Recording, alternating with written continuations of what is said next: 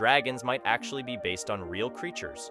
Ancient cultures across the world, like the Chinese, Europeans, and Aztecs, all have dragon myths, but they never had contact with each other. Archaeologists think dragons could be inspired by dinosaur fossils they found. Imagine stumbling upon a massive T Rex skull without knowing dinosaurs existed. In medieval Europe, giant bones of woolly mammoths were often mistaken for dragon remains. Meanwhile, in China, dragon bones were revered and even ground into powder for medicine. Today, Komodo dragons are a very real and very giant species of lizard, almost like mythical dragons come to life.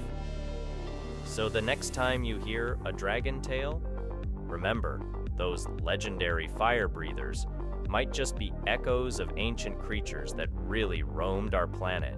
Isn't that wild?